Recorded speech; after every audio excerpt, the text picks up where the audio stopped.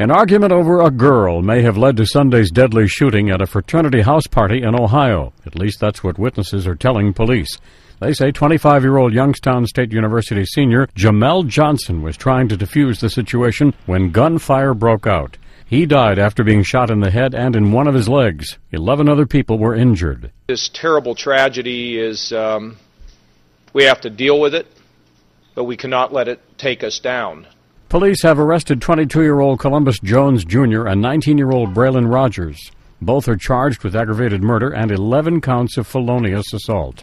Neither is a university student nor a fraternity member.